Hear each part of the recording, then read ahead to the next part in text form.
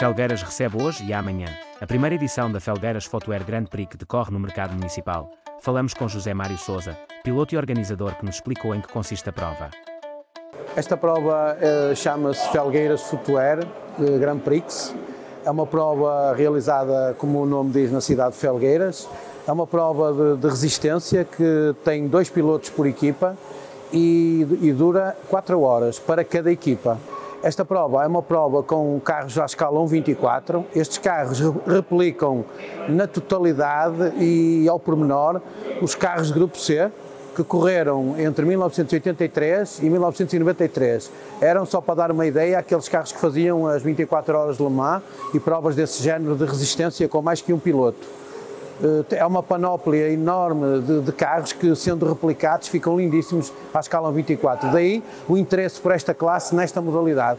O organizador falou-nos sobre os pilotos que irão competir. Esta prova vai ter 27 equipas, portanto, na totalidade 54 pilotos, oriundos de nove nacionalidades, diferentes nove nacionalidades e três continentes. Eh, nós temos cá os melhores pilotos alemães, que são pilotos e construtores também, são eles que fabricam uh, as, as, melhores peças, os chassis, as carrocerias, eles fabricam uh, o melhor material para esta modalidade a nível mundial. Portanto, nós temos cá presentes os melhores alemães, os melhores espanhóis, os melhores belgas, alguns dos melhores pilotos europeus, que também são os melhores pilotos do mundo, sendo os melhores pilotos europeus, esta modalidade tem muita relevância na Europa, e temos também alguns dos melhores pilotos brasileiros, portanto é uma prova de grande nível Revelou-nos ainda a relevância histórica da pista a nível mundial. Tem 43 metros de comprimento. Esta pista é uma pista icónica. Já foram realizados né, nesta pista cinco campeonatos do mundo. Uh, portanto, entre 2004 e 2011, por aí, não seguido, mas foram realizados cinco provas de campeonato do mundo. Esta pista tem uma curiosidade muito interessante. Ela foi, foi mandada a construir pelo Jean-Pierre Van Rossen, que era um guru de slot a nível mundial. Era um aficionado, era um aficionado desta modalidade. Era um, era um excêntrico, mas que adorava a modalidade e que chegou a ter uma equipa de Fórmula 1 nos anos 80, uma equipa chamada AS. Exatamente, era um belga. Eh, esta pista foi construída na Bélgica, depois já esteve na Alemanha, já esteve em Espanha, em Barcelona e em Madrid. E agora, eh, e agora veio de Barcelona para Portugal, portanto já esteve em diversos países e é uma pista icónica que todos os pilotos adoram competir. E as perspectivas para o evento?